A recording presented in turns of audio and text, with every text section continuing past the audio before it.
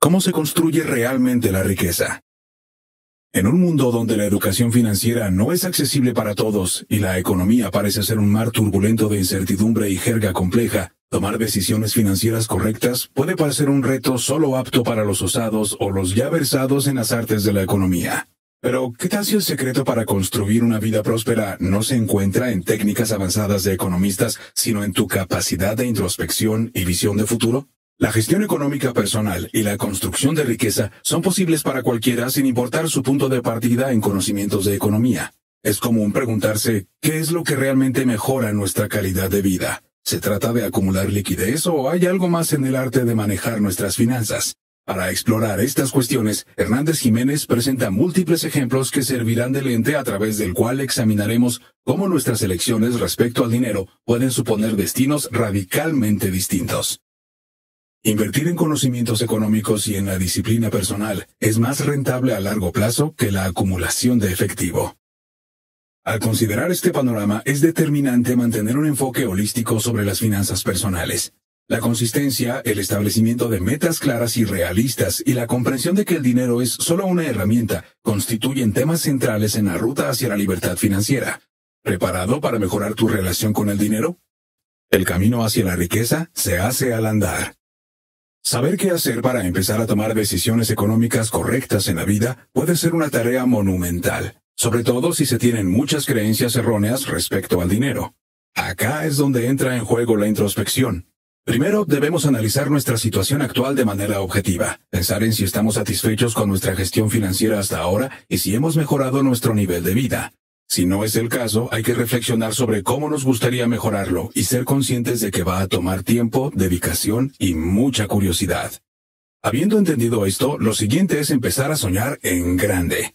Definir objetivos detallados a largo plazo es esencial. Cualquiera puede hacer planes efímeros, pero pocos se molestan en definirlos lo suficiente. ¿Quieres viajar por el mundo, cambiar de profesión o tener un segundo apartamento? Todo es posible, pero debes tenerlo claro. La vida nunca se detiene. Una vez conseguidos los objetivos de largo plazo que se haya propuesto, podrá plantearse unos nuevos objetivos más ambiciosos y beneficiosos para usted. Gregorio Hernández Jiménez para establecer una comparación lo suficientemente justa, Hernández cita el ejemplo de Marta y Sonia como una breve historia que nos mostrará cómo nuestras decisiones en la vida pueden llevarnos en direcciones radicalmente diferentes. Se trata de unas hermanas gemelas con percepciones muy diferentes del ahorro a largo plazo. Por un lado tenemos a Sonia, la ahorradora, quien decide desde joven invertir 300 dólares al mes en la bolsa. Marta, por otro lado, prefiere gastar deliberadamente todo lo que gana sin ahorrar. Es importante recalcar que ambas comienzan con el mismo sueldo. Sonia, a lo largo de los años, aumenta la cantidad de dinero que invierte de sus ahorros, ajustándola para mantener el ritmo con el de la inflación, mientras que Marta disfruta de sus ingresos sin restricciones. En su juventud, ambas viven vidas satisfactorias y sin consecuencias inmediatas. Para el momento en el que las hermanas alcanzan la tercera edad, Sonia ya está en condiciones de jubilarse. Gracias a los ahorros que ha hecho a lo largo de su vida, junto con la pensión de la seguridad social, podrá permitirse vivir el resto de sus días en paz disfrutando de los frutos de su trabajo. En el caso de Marta, deberá seguir trabajando hasta los 72 o 74 años para mantener un sueldo que le siga permitiendo vivir cómodamente, en caso de que la pensión no sea suficiente. El poder de decisión está en nuestras manos, y eso es lo más importante. Todos tenemos algo de Marta y de Sonia en nosotros, lo que determinará cómo nos irá en la vida será escoger con cuál hermana nos sentimos más identificados. La riqueza de alguien no significa la pérdida de otros. Es un concepto dinámico y puede beneficiar a todos. También nos insta a vivir nuestras vidas de acuerdo a nuestras propias metas, sin preocuparnos por las expectativas de los demás. Antes de invertir tu dinero, debes invertir tiempo en definir tus metas de vida a largo plazo. Esto guiará tu gestión financiera de manera efectiva. ¿Qué es el dinero y qué es la verdadera riqueza? Imagina tener una piscina de monedas y billetes como la de Rico MacPato, o tener una cuenta bancaria con un saldo astronómico. ¿Es eso la verdadera riqueza? ¿Qué representa el dinero? El dinero es simplemente una convención establecida para facilitar el intercambio de bienes y servicios. Ha evolucionado a lo largo de la historia, desde la sal y el trueque hasta las transferencias bancarias y monedas. Su valor ha subido y bajado con el tiempo. Contrariamente a lo que suele imaginarse, la verdadera riqueza no reside en acumular dinero en efectivo por montones. De hecho, eso rara vez te lleva lejos a largo plazo. La clave del éxito no está en guardarlo todo bajo tu colchón, está en poseer activos que generen ingresos constantes. Los adinerados no tienen su riqueza en forma de billetes ni en cuentas corrientes, sino en empresas, bienes raíces, acciones y otros activos que les proporcionan una renta estable y continua. El dinero en su forma actual está altamente sujeto a la inflación, lo que significa que su poder adquisitivo disminuye con el tiempo. Para comprender su verdadero valor, debemos considerar el momento en el tiempo y el impacto de la inflación. ¿Son 1.500 euros más que 1.000 euros? Depende de cuándo los compares y de cómo analices la situación. 1.000 euros de hace 10 años podrían valer más que 1.500 euros hoy en día. Acumular dinero no garantiza la riqueza. En momentos de hiperinflación, incluso aquellos acaudalados con grandes sumas pueden volverse pobres rápidamente. Un ejemplo inigualable es el caso del pengo húngaro, que experimentó una hiperinflación de 41.900 billones por ciento. Y no es una exageración, de verdad que el porcentaje de inflación fue de 41.900 billones, empobreciendo a la gente a pesar de tener cantidades aparentemente enormes de dinero. Lo que nos lleva a preguntarnos, si no es por los billetes y monedas, ¿cuáles son las formas más comunes de acumular riqueza mediante los activos? Pues la respuesta a eso es bastante simple. Títulos de renta fija, depósitos a largo plazo, inmuebles, objetos de arte y artículos coleccionables, entre otros. La variedad a la hora de acumular valor es casi infinita. Si bien el dinero tangible en forma de billetes y monedas es conveniente para los gastos diarios, es una posesión poco rentable a largo plazo. Si pones todos los huevos en una misma canasta, eventualmente se puede abrir un agujero que haga que se caigan. Podría pasarte como a los húngaros durante el siglo XX o a los venezolanos en el caso más reciente de hiperinflación. La verdadera riqueza reside en los activos que generan ingresos constantes. Los títulos de renta fija pueden ser una de las mejores maneras de guardar el dinero. Implican prestar dinero a emisores y recibir intereses a cambio. Estos títulos varían en función del emisor, el tipo de interés, el plazo y el valor nominal. Los bonos de interés fijo suelen ser los más comunes y los más habitualmente solicitados. Supongamos que compras uno por mil euros a un plazo de cinco años con un interés del 5%. Cada año te compensarán con 50 euros, el 5% de mil euros. Al final del quinto año obtendrás de vuelta tus mil euros iniciales y habrás ganado 250 euros de interés. Una excelente oferta si estás dispuesto a aprovecharla. La eterna rivalidad con las deudas. A contrario de lo que mucha gente suele creer, las deudas no suelen representar algo negativo. También pueden ser vistas como algo bueno a lo que le puedes sacar ventaja mientras exista. Las deudas buenas son las que te ayudan a construir tu imperio financiero y estarán presentes hasta que dicho imperio pueda pagarles el favor.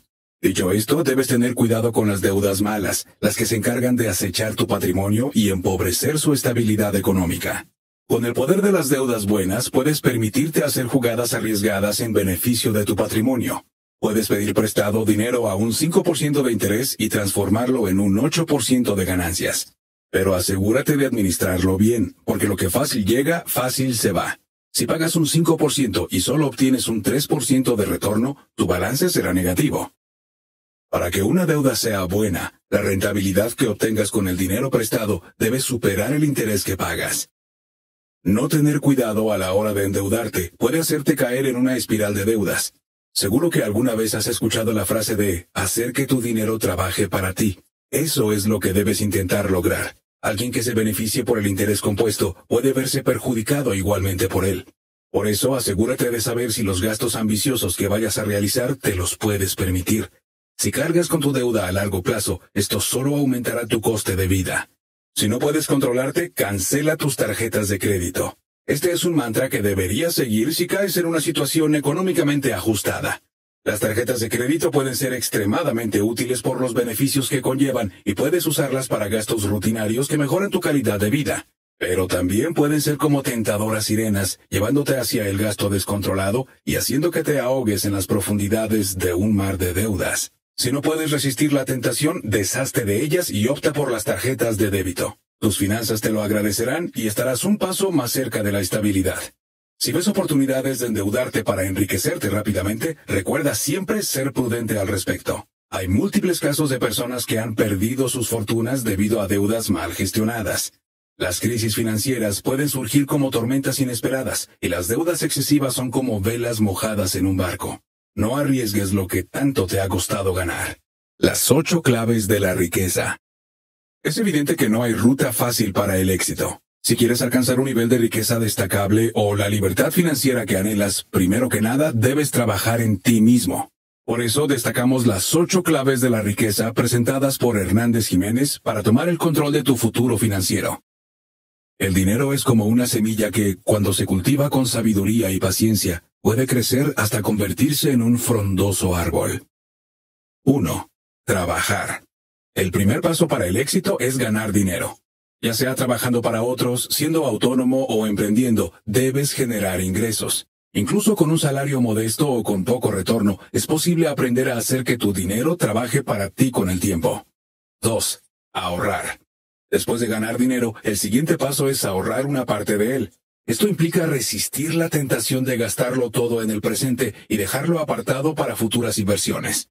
Recuerda, gasta lo que te sobre después de ahorrar. No ahorres lo que te sobre después de gastar. 3. Invertir. El ahorro es importante, pero no suele ser suficiente. Debes invertir tu dinero de manera que su rentabilidad supere la inflación. Esto significa que tu dinero debe crecer con el tiempo para mantener su poder adquisitivo y mejorar tu situación financiera. Solo invierte dinero que estés dispuesto a perder. No arriesgues todos tus ahorros ni comprometas tu futuro o el de tu familia. 4. Formarse. Antes de invertir es crucial aprender cómo hacerlo. Nadie nace siendo un experto. Afortunadamente se pueden encontrar a profesionales cualificados en el tema dispuestos a enseñarte. Aunque convertirse en un inversor excepcional puede ser complicado, aprender los fundamentos y lograr buenas rentabilidades está al alcance de todos. 5. Paciencia. La riqueza no va a llegar hoy ni mañana ni pasado. La mayoría debe armarse de paciencia para alcanzar sus objetivos financieros. 6. Disciplina. Diseñar planes financieros adecuados es crucial, pero cumplirlos es algo completamente diferente. Debes mantener una disciplina en el ahorro y en la inversión, siguiendo tus estrategias incluso cuando enfrentes dificultades. Procura modificar dicha estrategia en la menor medida posible si no quieres que afecte a tu rendimiento. 7. Prudencia. Dedica tiempo a aprender sobre gestión financiera y a conocer tus propios límites como persona. Evita inversiones que no entiendas y busca el equilibrio entre riesgo y seguridad. 8. Sentido común por mucho una de las más fáciles de ignorar. En el mundo de las finanzas es tu mejor amigo. Elige estrategias que comprendas y que parezcan lógicas. Evita las inversiones complicadas y las modas. Mientras más fácil te sea de entender, mejor. Tus acciones y decisiones determinarán tu éxito en la creación y el mantenimiento de tu patrimonio. La clave más importante de todas para crear, aumentar y mantener su propio patrimonio es usted mismo. Gregorio Hernández Jiménez. Mentalidad de tiburón empresario. Cuando quieres consolidar una riqueza lo suficientemente grande como para alcanzar la independencia financiera, tienes que aprender de los mejores. Esto no es un consejo que aplicamos en economía nada más, sino en cualquier entorno que ponga a prueba tu conocimiento. Tal y como los nadadores de élite estudian a los peces para mejorar su rendimiento, nosotros también podemos aprender de las empresas para gestionar nuestro dinero de manera eficiente y producir riqueza personal. Es evidente que las empresas son la forma más eficiente de generar ganancias. Después de todo, tienen departamentos enteros dedicados a ese propósito. Nosotros como individuos podemos aplicar los principios empresariales a nuestra propia situación económica. Para hacerlo, primero se debe comprender y evaluar la situación actual de manera precisa y detallada. Esto implica crear un balance que refleje todos nuestros activos, lo que tenemos, y pasivos, lo que debemos. Restando los pasivos de los activos, obtenemos nuestro valor contable o patrimonio neto. En la creación del balance debemos enumerar absolutamente todos nuestros activos que incluyen cuentas bancarias, inversiones, bienes raíces y otros objetos de valor. También debemos asignar valores realistas a estos activos. Por otro lado, debemos hacer una lista de nuestras deudas pendientes y sus montos exactos y anotar todo esto en nuestra cuenta de resultados. Comprender la relación entre el balance y la cuenta de resultados puede conducir a un incremento del patrimonio neto. Luego, debes valorar la importancia del presupuesto. Es esencial para mejorar nuestra situación financiera. El presupuesto representa las proyecciones de ingresos y gastos que esperamos tener en el próximo año. Es fundamental explorar oportunidades para aumentar los ingresos fuera de nuestro trabajo principal, como actividades secundarias o pasatiempos que puedan generar beneficios adicionales. Hernández Jiménez también nos invita a determinar nuestra inversión principal, enfocándonos en aquello en lo que tenemos más conocimientos o en lo que creemos que podemos adquirir más conocimientos. La inversión principal debe recibir la mayor parte de nuestro patrimonio y la cantidad que asignemos a cada tipo de inversión debe basarse en nuestro conocimiento. Para un inversor promedio es importante poner énfasis en la rentabilidad a largo plazo. Las inversiones deben generar ingresos constantes para asegurar una vida financiera sólida y sostenible. Siempre puedes estar, incluso por accidente, adquiriendo datos que te impulsen a realizar una inversión principal que parece algo soñado, pero que no es financieramente viable. Debemos evitar las decisiones que favorezcan las ganancias a corto plazo a expensas del largo plazo. Antes de embarcarte en la búsqueda de la riqueza, es esencial conocer tu situación financiera actual. ¿Sabías que el término bolsa de comercio se utiliza en algunos países como Argentina, Chile o Uruguay en lugar de bolsa de valores? El origen del concepto proviene del apellido de una familia de banqueros de Brujas, los Vandelbers, que tenían un escudo con tres bolsas de dinero. Su casa era un lugar de reunión para los mercaderes y financieros, y se convirtió en el modelo de las primeras bolsas de comercio de Europa. Equilibrio económico. Optimizar tu balance es a menudo tan importante como elegir en qué invertir. Después de determinar tu inversión principal y potenciales inversiones secundarias, el siguiente paso es ajustar tu balance actual para que se alinee con tus nuevos planes financieros. En esta tarea te encontrarás con dos posibles situaciones. Primero, aquellos activos que ya posees y que encajan perfectamente con tus inversiones predilectas. Se hace fácil la decisión de mantenerlos. Por otra parte, los activos que actualmente posees pero que no se alinean con tus nuevas inversiones. Aquí es elemental tener en cuenta el coste de oportunidad antes de decidir vender. Precisamente el coste de oportunidad es un aspecto a no olvidar, normalmente subestimado en este proceso. La mayoría de las personas no consideran este factor y pierden dinero en muchas ocasiones por no prestarle atención. Incluso está presente en nuestras vidas más allá de la esfera económica. Un error común es mantener acciones que ya no se desean una vez que se reorganizan las finanzas solo para descubrir que su valor ha disminuido. La fiscalidad juega un papel fundamental en esta ecuación. Esta varía no solo de un país a otro, sino también con el tiempo, por lo que es esencial estar al tanto de las leyes fiscales actualizadas y de los planes políticos en tu país de residencia. Lo que es válido hoy en España puede ser diferente en Colombia, Perú, México o Chile y cambiará en Argentina en los próximos años. Ignorar la fiscalidad puede ser costoso. Conocer las implicaciones fiscales de tus inversores y optimizarlas para reducir los impuestos a pagar es determinante. Sin embargo, procura no tomar decisiones de inversión basadas exclusivamente en ventajas fiscales, ya que las mejores inversiones a menudo no las necesitan. En el mundo de las inversiones, optimizar tu balance es decisivo para alcanzar tus objetivos. Esto implica tomar decisiones inteligentes sobre qué mantener y qué vender. A menudo las personas tienen objetos olvidados en sus trasteros o en el fondo de sus armarios que podrían vender y hacer espacio. Vender no solo proporciona dinero extra, sino también es una habilidad útil para la vida. Puedes mejorar tus ingresos en el trabajo o incluso inspirarte con ideas para emprender tu propio negocio en el futuro, como una tienda de antigüedades o un comercio dedicado a un pasatiempo que te apasione. Otro factor a considerar para alcanzar este equilibrio económico es tener una reserva permanente para imprevistos, independientemente de tu situación financiera. Te ayudará a cubrir gastos inesperados y te evitará la venta forzada de inversiones en malos momentos del mercado o por una situación económica personal. La cantidad adecuada varía según las circunstancias, pero tener al menos seis meses de gastos cubiertos es un buen punto de partida. Si quieres tener una verdadera garantía que te dé tranquilidad, hay asesores que recomiendan tener hasta dos años de ahorros acumulados. Finalmente, distinguir entre valor y precio es un principio fundamental en las inversiones. El precio es lo que pagamos por algo, pero su valor real puede ser muy diferente y puede variar entre personas. 60 dólares para ti puede no ser lo mismo para los demás. Aunque determinar el valor exacto es difícil, hacer aproximaciones razonables es clave para invertir con éxito. Comprar activos por debajo de su valor real es una forma segura de aumentar la riqueza a largo plazo. Si alguna vez llegan a dispararse de precio, te sentirás como una mente maestra de la economía. Gregorio Hernández Jiménez presenta una valiosa guía que parte desde cero, con pasos concretos, destinada a transformar nuestro destino económico. Se ha comprobado que todos podemos trabajar para alcanzar esa anhelada tranquilidad mental que conlleva la estabilidad financiera. Hemos aprendido que la verdadera riqueza no reside en acumular dinero en efectivo, sino en poseer activos que generen ingresos constantes. El dinero en sí mismo es una herramienta para facilitar el intercambio, y su valor está sujeto a la inflación. La acumulación de efectivo puede ser vulnerable a las crisis financieras y la hiperinflación, como hemos visto en ejemplos históricos impactantes. La mentalidad empresarial nos ha mostrado que podemos aprender de las empresas para gestionar nuestro dinero de manera eficiente. Comprender la importancia del balance, la fiscalidad y la optimización de activos son aspectos cruciales en nuestro camino hacia la riqueza. Recuerda que puedes decidir si ser más como Sonia, la ahorradora, o Marta, la gastadora, o una combinación equilibrada de ambas. Consolidar tu patrimonio es un proceso que requiere tiempo, disciplina y paciencia. La abundancia no se mide solo en términos monetarios, sino en la calidad de vida que podemos lograr y en la capacidad de alcanzar nuestras metas a largo plazo.